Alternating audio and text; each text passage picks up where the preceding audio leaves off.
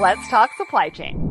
Hello, everyone, and welcome back to Let's Talk Supply Chain. So, let's kick things off with a question. Today's guest is a 2024 Woman in Supply Chain Award winner, but how many submissions did Supply and Demand Chain Executive, the brand behind the awards, receive this year?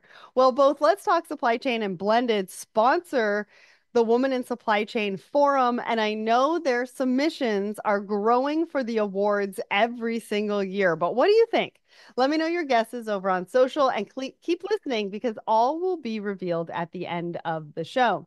So, today I'm excited to welcome a bilingual customer success expert, logistics professional, and team builder to our Woman in Supply Chain series.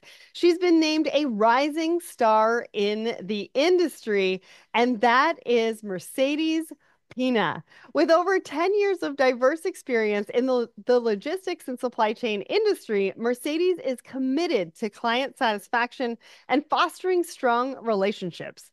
A passionate mentor, Mercedes is also dedicated to empowering others and fostering inclusive environments where diverse voices are heard and valued.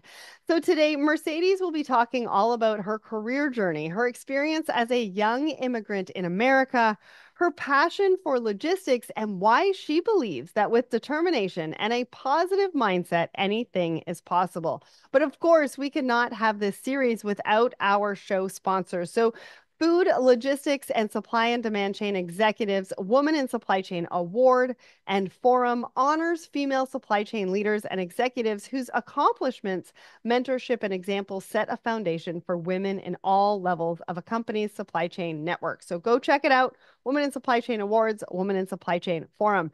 So welcome to the show, Mercedes. Thank you, Sarah. It's really a pleasure to be ho- hosting here with you. I really appreciate the opportunity to talk and discuss through my journey that I've been through throughout the years. Yes, I can't wait. I'm so excited to have you here. I mean, Woman in Supply Chain Award season is in full swing, and I think we're going to be celebrating all the women from now until almost the end of 2025. And it's amazing. We're going to keep that momentum going. And, you know, I get the chance to interview some fascinating women across the industry. And I'm really happy to get to know you today and introduce you to our audience. So let's just dive right in. Now, your journey began as a young immigrant in Long Island. Talk to us about that. What was your experience? And uh, yeah, give us the details. Yeah, so my journey as an immigrant in Long Island started with the hope of a better educational future for my family. My parents were determined to provide us with the opportunities they didn't have. Um, from a young age, they instilled in me the importance of work and perseverance for um, to provide us the opportunities they didn't have and to continue to strive for better. At times, they work two jobs um, wow. so we can have the achievements and and proceed from there. Living in our environment made me really appreciate and the sacrifices my parents made gave me the opportunity to strive for excellence in everything that I do. Wow, I love that. And there's a lot of stories like this, not only in the US, but also in Canada, kind of across North America. I know my parents are also immigrants. Um, they were originally from the UK, but they went to Iran and my dad ran a logistics company in Iran for a few years before the fall of the Shah. And then they ended up coming to Canada.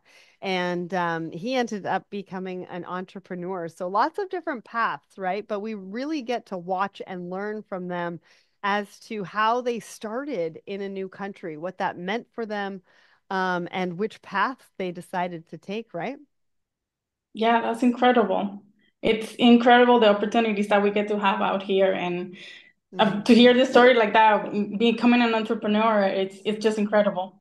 Yeah yeah and neither path is easy right? And and yeah. none of this is easy. So what were some of the challenges you faced as a young immigrant in a new country? What was your approach to kind of tackling some of those challenges and how do you think those experiences have shaped who you have become today yeah, so some of the challenges that I faced were the adjustment to a new culture, um, the struggle set, settling into a new country. For example, learning a complete new language. Language. This experience brought my family closer, and it shaped me who I am today. Um, the hard work and determination to strive for a better legacy and opportunities that my family didn't have before really, really pushed me to to do better in the journey ahead for me. Mm-hmm. And where where did they come from originally, if you don't mind me asking? Dominican Republic. Dominican Republic. Okay, awesome. And they ended up in um, starting out in Long Island. Are Long you Island. currently in New York? I'm in California now. You're in California. And what about the rest of the family? Are they kind of spread out? They've all done their own thing? they are. Um, so my sisters are in New York and Pennsylvania. Awesome, awesome. I love to hear that, right? Because you start in one place, and as your journey um, gets started and keeps going, and your family branches out and discovers new opportunities, it's interesting to see where you started and then where everybody has sort of end up, ended up. So, where did your career begin? I think you've said that from a young age you were driven by a passion for logistics. I thought I was the only one, but apparently not. Um, but that was really the same for me because I grew up in a family of logistics entrepreneurs. So, where did your passion for logistics come from? Yeah, so my career journey began when I moved to California at the age of 22. Initially, I thought the logistics field was um, was going to be something tempor temporarily. Uh-huh. However, um, while I dwelled deeper into the industry, I became uh, um, captivated by its vastness and complexity and the challenges of understanding the full scope of it. Um, no two days are alike in the in this industry. Um, when I was younger, I didn't really understand or really captivated how important it is, um, the background and everything that comes into the logistics aspect of how it affects the community and the economy overall. So every day that I got more into it, it really, really pushed me to learn about it and be more interested into the aspect of the entire project. And that really pushed me to really dive into and continue to grow in this uh, industry. I love that. It kind of sucks you and you can't really leave after that, right? Yeah. It's really good though. It keeps you on your toes every day. It's kind of um it's almost an obsession, right? You get obsessed with sort of that problem solving and it it not being the same thing day in and day out. And that's what sucks people in and you just don't you don't ever leave like logistics and supply chain. Or there's not a lot of people that you've heard throughout their journey that they've come into supply chain, they've left supply chain and then they haven't come back at some point. Yeah. So you're now Vice President of Client Services and Expedited Pricing at STG Logistics. Give us a taste of what that looks like. What does a day in the life of a client-focused VP look like? Yeah, so my day combines strategic planning um, with direct client engagement.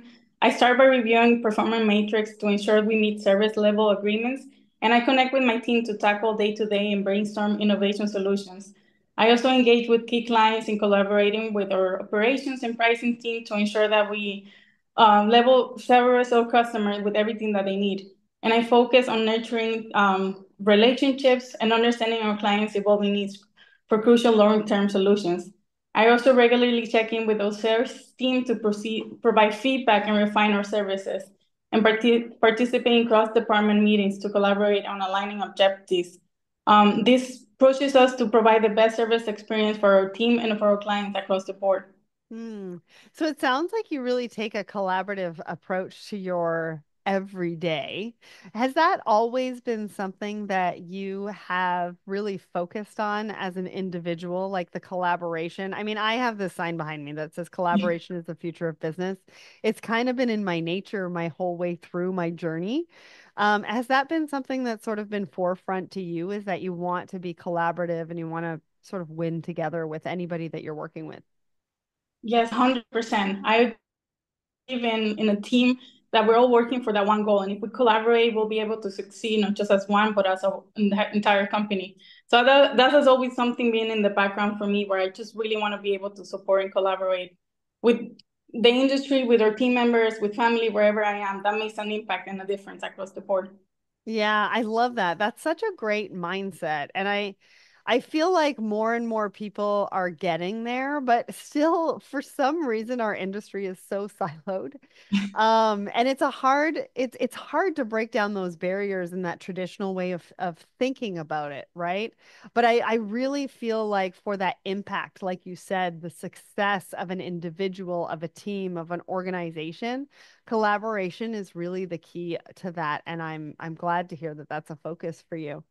So, um, give us your perspective on the increasing focus on client services because you know, it's just something that we've seen take center stage for companies. We're talking a little bit more about customer experience. They're dedicating more time, budget, resources to customer service, and then leveraging that as a competitive advantage, especially in logistics, in a way that I just haven't really seen before. I feel like I've been speaking about customer experience and logistics for a very long time.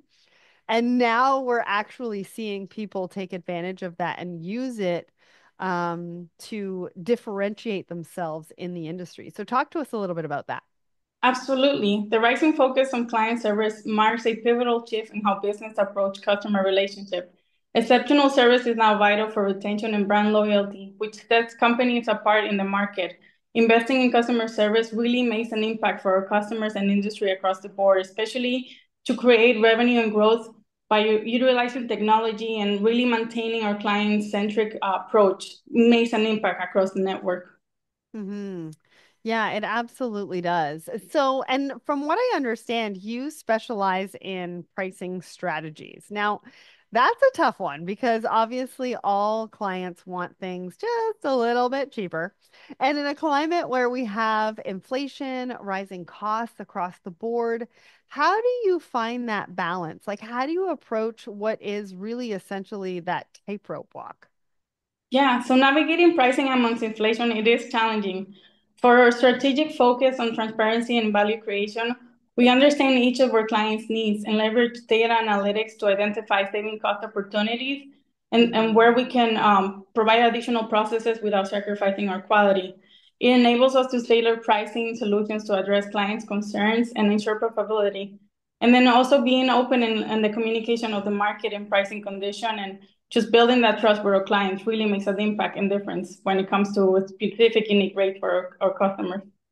Yeah, I can only imagine because to be honest with you, there's a lot of supply chain professionals, teams, leaders who are overwhelmed, right? They have a lot of things that they need to think about new regulations, cutting costs, pricing, new technology, which technology to invest in, which not to to invest in, you know, which is a priority, which process should we take and, and sort of automate. So many things to think about. So really knowing that you have a partner and somebody who's really thinking about your business and your supply chain, your logistics, your teams and not having to focus on that but relying on somebody else to to help do that. I'm sure that you you work with a lot of clients that really um just enjoy that part of the relationship with you. Like this industry is so much about relationships right it is 100% having trusted partners and enforcing reinforcing those long-term relationships can go a long way. So now i want to find out you know you've been in the industry a while. Um, do you have any predictions or maybe some insights into the trends that we should be looking out for or maybe expecting in logistics for 2025? Certainly, in today's world, it's really hard to, to predict anything. However, um, come 2025, I anticipate ser- several key trends with automation, with AI, with um, sustainability and environmental um, concern growth, with packaging and green packaging solutions, um, and alternatively fuel resources. Um, in addition, the boom on, on the e-commerce, I anticipate seeing um, a lot of that happening more where uh, sophisticated final mile solutions will be requ- requested. Um, people want everything faster nowadays. So a lot of enhancement with data analytics and, and system in, um, innovations coming across the board. I really like to hear that. We need we want some more people spending some money on products so that you know we can uh, keep supply chains moving, keep our trucks moving, and all of that. Now, I want to say congratulations because you received the Rising Star Award at this year's Woman in Supply Chain Awards. What does this award mean to you? This recognition symbolizes not just a personal achievement for me, but also a collective progress on women in the supply chain industry. As both a woman and an immigrant, I understand the unique challenges we face in a traditional male nominated field. So this award reinforces the idea of diverse perspectives are invaluable and anybody makes me to advocate for inclusivity, for mentoring others who feel underrepresented. So I hope this recognition uh, inspire other women, especially those in diverse background, to pursue their career and continue to push through and then not let any barriers come in the way and really pushed through. So it's really a, an honor to get this recognition. Yeah, I love that because representation really does matter right? And um, other folks seeing that you have received this award and you were able to be nominated and then considered and received the award just also paves the way for other women who are coming up behind you and are seeing you thrive and succeed in your journey and your passion for logistics as well. Mm-hmm. So, part of what makes you a rising star is your passion for mentoring and empowering others. Now, you're still young yourself. So, you could argue that you're pretty young to be mentoring. However, I did a recent blended podcast episode on mentoring and reverse mentoring, and it really shone a light on the fact that we can all learn from everybody, no matter where you come from, your age, that kind of thing. And I think it's so important to bring more young women into the industry. Um, so is that the key to success? Like, are you helping to bridge the gap and help meet those younger women where they are? What what do what do you talk to them about? What are some of their concerns about coming into the industry? I'm just I'm so interested. Absolutely. I believe that mentoring is crucial, especially in industries like supply chain, where diversity and inclusion can significantly enhance innovation and problem solving. While young, my experience as a young woman giving me a unique insight into the challenges we face um, entering this field. I strive in, into creating an environment where young women feel comfortable seeking guidance and sharing their perspective. Um, bridging that gap, meeting them where they are and understanding their aspirations and providing reliable support, I can prioritize and share my background where I came from and, and open that sense of uh, fostering the community that makes um, makes a traditional mentoring more dynamic and sharing my journey, encouraging open dialogue to help inspire confidence in the, and inspire young women who are pursuing it to enter this industry. So, like, what is top of mind for young women when they're considering coming into logistics and supply chain, or maybe they're already in the industry? Like, what what are some of their top concerns?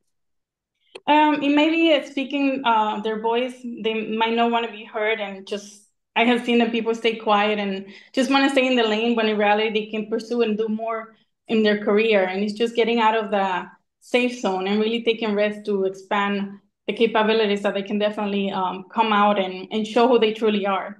Hmm. So that's the number one thing is that they have um, a hard time finding their voice. Yes, I, I've seen that a lot. Mm. Have you had anybody who've con- who's considered coming into logistics and supply chain approach you and just sort of ask you what it's like? Uh, yes, um, and a lot of um, my friends too, like trying to understand what the supply chain is who are not in the industry and explaining what it is it's it's really uh, an exciting topic to for people who don't really understand it. Um, and I've seen uh, even family members reach out and try to understand what it is, and it just is really intriguing for for people to understand what the supply chain is. That's awesome. I love that you're just talking to everybody about what it is to be in this industry and like the opportunities that there are because there's so many opportunities and it's hard to be able to translate that. But I am so thankful that we have somebody like you who's doing that um, with all sorts of people, right? Young women, your family, your friends, um, and really like letting your passion shine. Like I can see how passionate you are about the industry. Thank you, Sarah. Yeah. So I know you believe in having a positive mindset, a belief that anything is possible. So what's your advice to translating that mindset into action? What are your top tips for the women following in your footsteps? Certainly. My advice for translating positive mindset into action is to set clear, achievable goals and mm-hmm. break them down into manageable steps. Surround yourself with positive people who inspire you and embrace challenges as a learning opportunity. Remember, persistence is key and stay focused. Believe in your ability to overcome obstacles and take risks. Don't, don't be afraid to step out of your comfort zone. And to remember failure is just a stepping stone to success. And embrace to continue to learn in the supply chain field and stay curious and seek out knowledge. And don't hesitate to expand your skill set. And finally, pay it forward. As you grow, remember to mentor and support others. Sharing your experience and insight can have a profound impact on someone else's journey. So I have a question for you. How do you feel about that word failure? Because I Uh, think that we should abolish it from from our vocabulary. I, I don't see it as failure. I see it just as a second chance to try and do it better. I, Um, it's just pursuing and pushing through. It's, it's just a stepping stone to what can I do differently to make it even better. Right? I think I think you're right. We need to change the word failure maybe with second chance. Yes. I love that. I love that. All right. So last question. You are a rising star. So what does the future hold for you? What are you excited about? So I envision myself to continue to grow personally and professionally, taking on leadership roles that allow me to influence a positive change in the organization and the industry. And I want to continue to push and mentoring others and fostering that inclusive environment so I can continue to drive innovation and contribution on projects that make a meaningful impact while also continuing to learn and adapting to new challenges that might, that might come my way. Mm, I love that. I actually have one more question to you. Okay. So I think about, like, we were talking about how you're a young woman in the industry, you're mentoring young women. What would you say to senior leaders or people who have been in the industry like me for 20, 25 years? Um, what would you say to us in making it more um, of a safe space, more of an open environment for young women to feel more comfortable to share their voice? Um, I say just keep an open mind. I know um, people may be starting in a new field who may be afraid to open up and, and share their voice. Just be patient, keep an open mind to understanding that we all were there at, at one point and just help those people understand their challenges that they may be facing and and try to provide some guidance. And that will go a long way, especially in their next career or next step in their life. Yeah, thank you for that because a lot of times there's sort of a little bit of a disconnect, and we don't want to forget that there's a lot of great young talent coming into this industry and remind leaders um, and other professionals in the industry of what their responsibility is to open up the doors and open up the response or the opportunities for the young talent to come into this industry so we can all make a difference together and let, just move this industry forward. I mean, we're all passionate about it. We all love it or we wouldn't be here, right? So how do we collaborate and come together to do that? Yeah, just keep pushing through and being there to support each other. It will go a long way, just helping each other for that one collaborating solution. Um, and there is no no ego or anything pertaining to that. Just pushing through and helping anyone who wants to join the field. Love that. Well, your journey from young immigrant to leadership level and award winning rising star is so inspirational. I know there will be a lot of young women listening to this today who are going to go away feeling positive and motivated and ready to embrace all of the opportunities that supply chain has to offer. So, did you all have a guess at today's big question? Well, at the top of the show, I asked you how many submissions did supply and demand chain executive receive for this year's Woman in Supply Chain Awards? Well, it was close to 350. And of those 350, 46 women were self nominated. That is an increase from 39 in 2023. You go, girls. And only 12 in the previous year. That's right. We are starting to self advocate, advocate for ourselves. And that is amazing to see because I love to see women celebrating their own achievements. Now, if you'd like to hear more from us at Let's Talk Supply Chain, we have more content for you. Head over to Let's Talk Supply letstalksupplychain.com or subscribe to our YouTube channel. And Mercedes, it's been a pleasure to get to know you and your journey, and I appreciate you. I want to acknowledge and appreciate you for coming on and sharing so vulnerable vulnerably with us today. Thank you so much. I really, really appreciate it. So